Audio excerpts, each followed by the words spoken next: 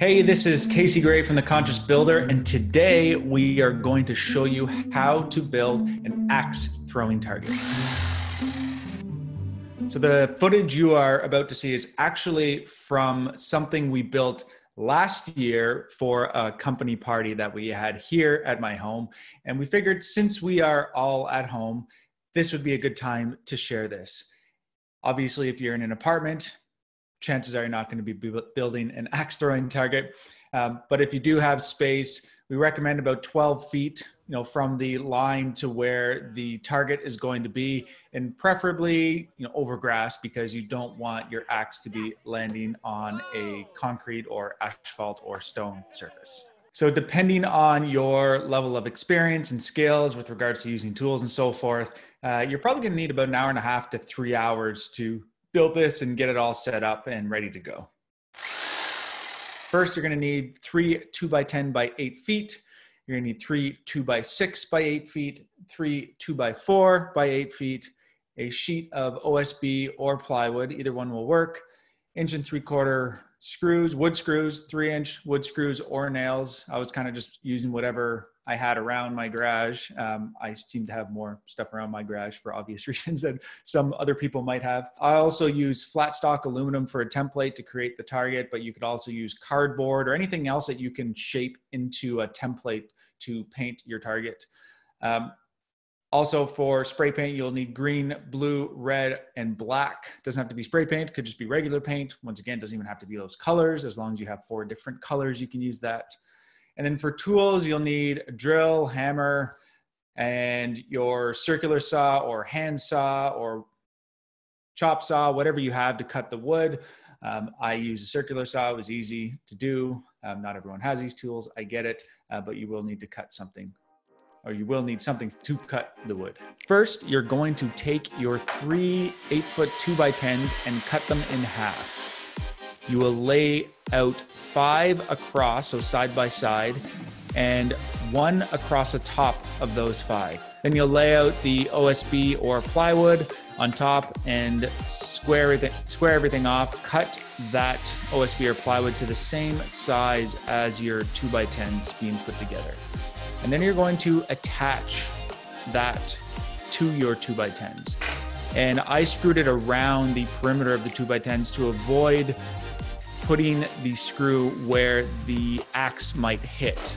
So obviously we're throwing axes at wood here, and if there's screws within that and the axe hit it, hits it, you might gouge the axe or dull it or whatever it may be. Next, you're going to locate the center of the vertical boards by drawing two lines from opposite diagonal. So basically corner to quarter across the wood. This will give you the center of the two by tens.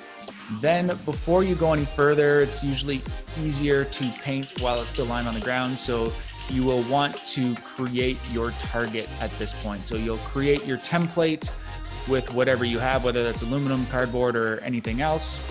And there are stencils that you can purchase online, but like I said, you can just do these yourself. But I just created a makeshift compass uh, of some sort to basically draw a circle and since I had the center, all I did was use that centerpiece and drilled holes in a piece of OSB to create a circle. Based on the National Axe Throwing Federation, the first circle, the bullseye, is seven inches in diameter. The next circle is red and is 17 inches in diameter. And the blue, which is the outer circle, is 27 inches in diameter. The two small outer circles on the top left and right corners are called clutches, and they are 39 inches from the bottom of the target and 4.25 inches from the closest edge of the middle 2x10, and they are 2 and 5 eighths in diameter. For the clutches, all I did was I ha- happened to have a hole saw which was two and five eighths in diameter. So I drilled a hole through a scrap piece of wood and OSB, and I used that as my template for the clutch. So once you've done that, now we move on to the legs. First, you're going to attach the one two by six on either side of the target that you just created. And cut a piece to go along the bottom. Ultimately, we're going to want to center the target at 63 inches from the ground. So that means from the ground to the center of your bullseye is going to be 63 inches. You can also, you're gonna have an extra piece of two by six. I used this and I added an additional piece a little bit lower for stability, but it also created a little bit of a shelf to put the axes or anything else you want to place there. Then you're gonna want to take one of the two by fours and cut it in half and attach it perpendicular to the bottom of the two by six. This will be the base. And then you will cut the other two by fours on 45 degree angles to create the bracing for the base as you see in the video.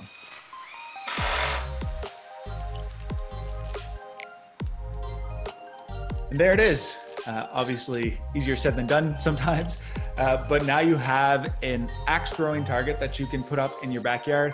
I would recommend that as you're doing it, that you wet the wood before you're throwing any axes at it because that will help prevent splitting as the axes continuously hit the wood. I'd also recommend making sure the axes are a little bit sharper or at least sharpened to some extent so that they stick better. Um, obviously, if you don't hit the blade when you're throwing it, it's not going to stick. Um, but we had some fun. You might want to practice some different axes as well. Some are better than others. Um, but ultimately, if you're throwing an axe at a target in your backyard, we're just going to have fun and please do it safely. Make sure nobody is around the target when you're throwing your axe at the target, please. Thanks for watching another video here on the Conscious Builder together. If you need the dimensions, just check the description below the video. And if you haven't already, be sure to subscribe and stay up to date with all the exciting projects that we have coming up, as well as interviews that we are doing with industry experts.